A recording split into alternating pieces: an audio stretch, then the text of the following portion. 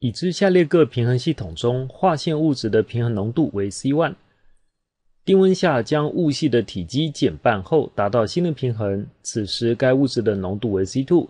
那则下列何者符合 C two 除以 C one 介在一到二之间？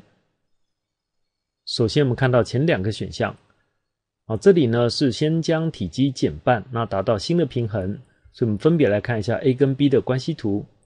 那 A 要注意到碳是固体啊，固体跟这个气体压力是没有关系的，所以就看后面气体的部分。那当体积减半，体积减半，物系它的压力或浓度会加倍。那虽然它们增加的是等倍数，可是因为右边有两个东西，我们就把它当成系数是二，所以我们就画箭头比较大哦，增加比较多。那左边少一点，这时候反应就向左边移动。那向左边移动呢，我们可以看到画线是 CO 嘛，CO 它浓度先增加一倍之后，反应向左边移动，所以它会慢慢变少。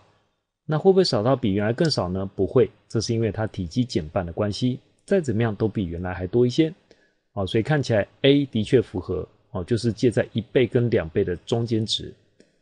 接下来我们看到 B，那这是阿莫尼亚分解产生氮气跟氢气，体积减半，大家的浓度或压力都增加。右边系数总和是四，左边是二，所以我画一个右边比较大的箭头，所以可以判断反应向左边移动。所以阿莫尼亚它的一个浓度先增加一倍之后。由于反应向左，所以它又继续增加哦，所以表示说它的比值应该是大于二哦，所以这个 B 选项不符合。接下来看到 C 跟猪，好，这是水的蒸发，体积减半，那体积减半呢，压力增加，好，然后会变成凝结成水哦，由于水会有一个饱和增加的概念哦，所以压力过大就凝结，压力再大再凝结。哦，所以最终它的这个浓度都会是一致的哦，所以它就先增加一倍之后回来原点哦，那这是非常特殊的哦，所以这个等于是一哦。再看猪，那这 N2O 四变成二 NO2，好，那一样体积减半，右边增加比较多，左边比较少，反应向左边移动。那画线的部分呢，它是先增加一倍之后向左移动，所以就会减少一些。所以的确符合在一倍到两倍的中间值，所以看起来猪正确。最后看到一选项，二 Hi 那分解产生 H2 加 I2。